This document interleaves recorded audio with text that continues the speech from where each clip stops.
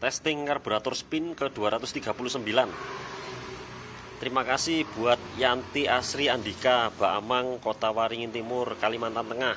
Wah mulai banyak Kalimantan. Terima kasih telah dibeli semoga tetap sehat di pandemi ini lolos lewat. Rezekinya lancar dan damai sejahtera. Oke langsung saja kita coba cer langsung nyala. Akinya memang lemah akinya. Tapi tidak apa-apa tetap nyala.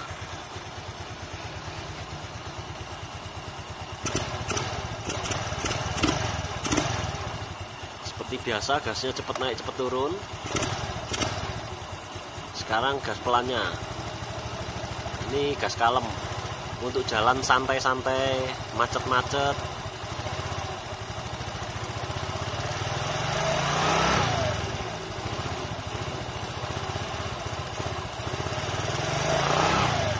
ya enak naiknya gradual.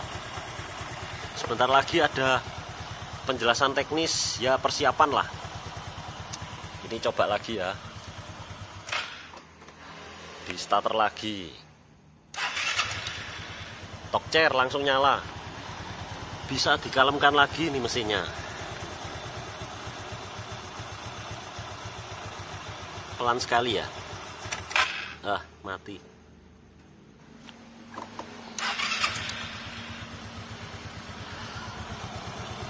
jadi mampu kalem. Cuma untuk mesin nggak uh, kurang baik pelumasannya kalau terlalu kalem. Jadi ini saya style standar. Ya nanti kalau terlalu tinggi bisa sesuaikan dengan selera ya. Mau yang kalem seperti ini atau yang hampir mati bisa. Toh juga sudah jadi karbu anda. Oh, jadi terserah anda. Oke terima kasih. Tambahan info untuk pengguna karburator dari saya. Filter udaranya perlu dibersihkan mas. Kalau yang Skywave di sini di atas CVT kalau Skydrive seperti ini. Diperiksa juga karet cup inlet wajib ada. Kalau di Skywave diserong.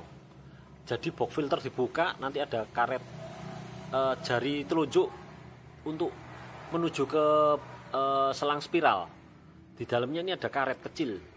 Nah itu harus wajib ada harus ada. Tidak boleh dilengserkan atau dicabut. Dan kalau untuk kabel gas kabel gas seret ini juga bisa menyebabkan gasnya lama turun. Gas kabur. Rrr, karena kurang. Kurang selesai kurang kembali ke posisi awal. Kabel gasnya seret.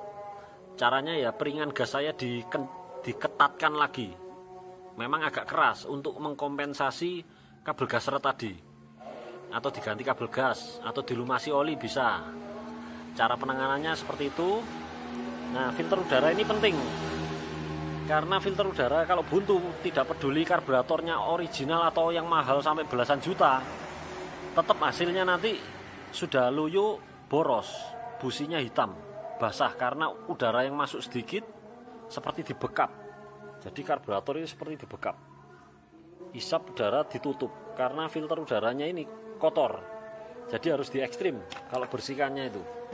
Aqua satu setengah liter di botol di lobangi disemprot. Jadi disemprot e, disiram bensin ya sampai basah sekali baru semprot udara. Semprot udara yang kenceng.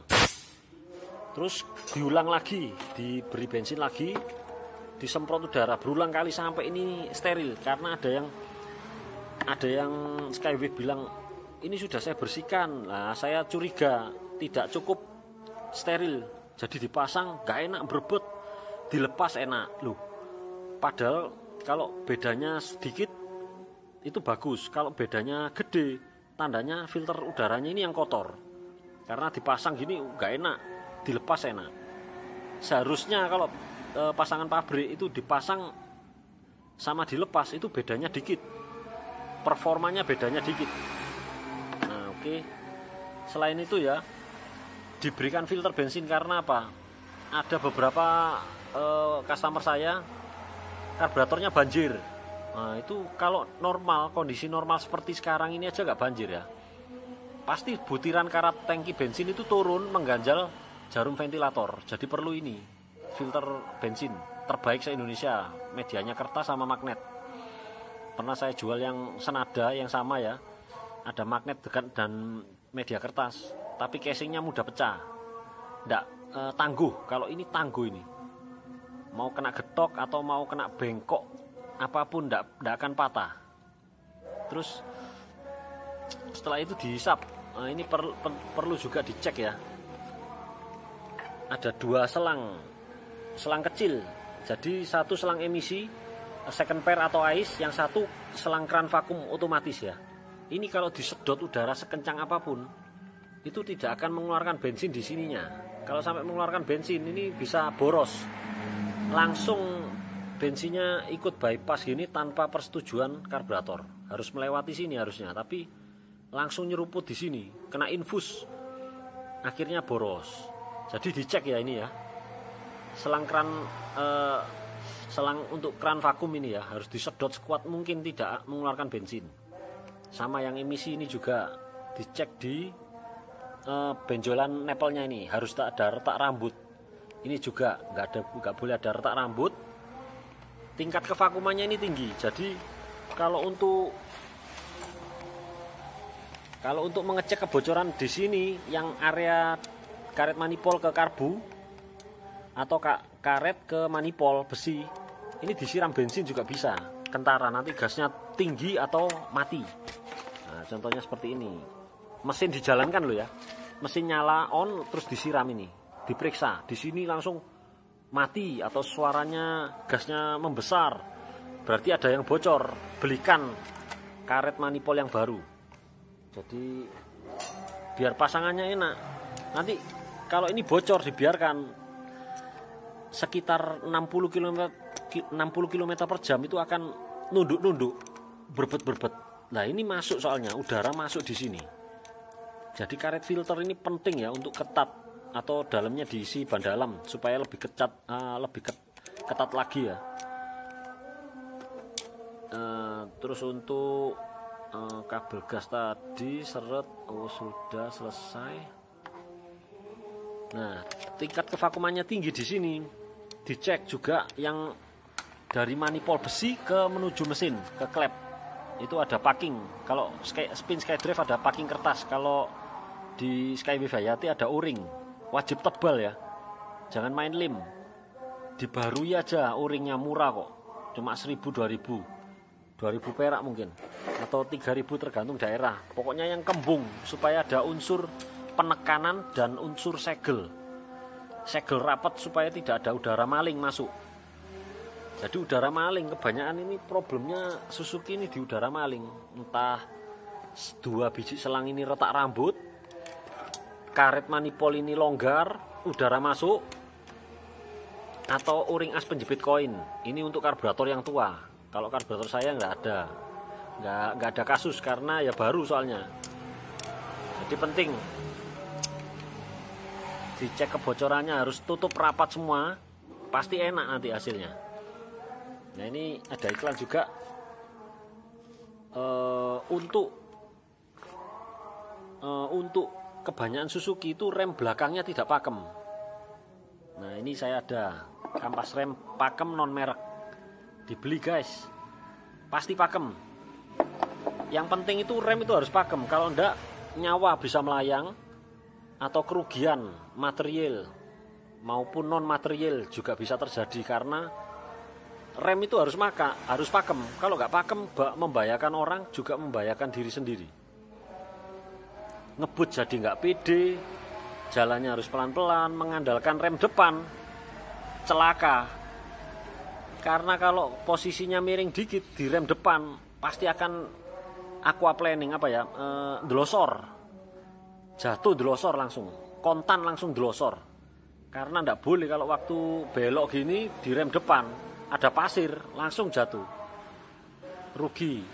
Mending pergunakan kampas rem e, rem sebagaimana mestinya. Belakang harus pakem.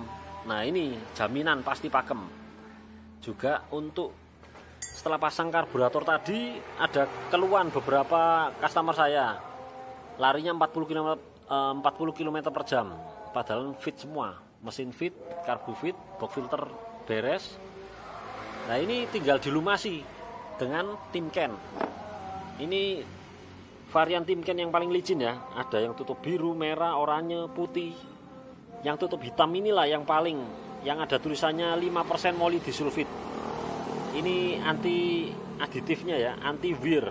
Uh, jadi kalau tim can varian lain tidak ada tidak ada 5% moli disulfit cuma yang tutup hitam aja ini. Heavy load shock load.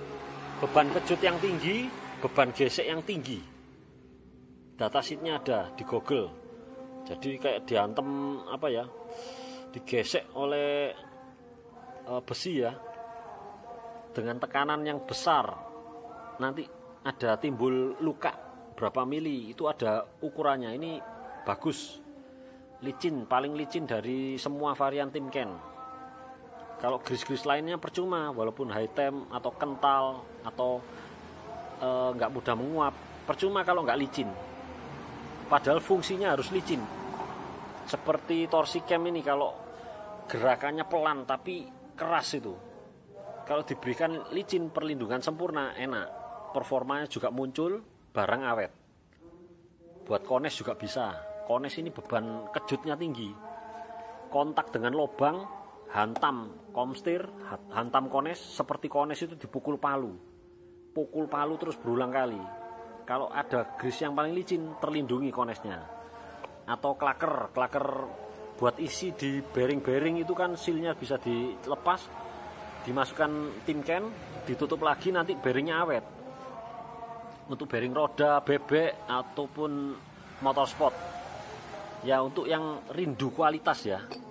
Rindu kualitas di Indonesia yang terbaik ini. Memang ada di atasnya ini ada SKF. Saya punya juga. Ini LGMT 3. Tapi buat apa beli ini mahal-mahal? Lebih mahal memang dari tim Ken. Tapi nggak cocok, nggak kebeli. Maksudnya buat orang-orang awam gitu uh, terlalu berlebihan ya mahalnya fantastis harganya terlalu fantastis. Nggak perlu tim Ken aja sudah cukup paling bagus ini. SKF itu harganya terlalu nggak terjangkau lah pokoknya. Apalagi bengkel seperti saya cepat habis wah sayang. Oke selesai semua.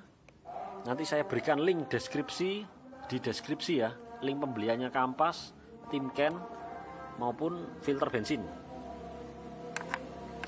setelah kabel gas. Nanti mungkin pemasangan untuk Skywave dan Hayati karburator saya perlu setelan ini di setel yang di bawah tombol starter. Ini setelan gas ini. Tuh. Oke. Sementara itu tambahan infonya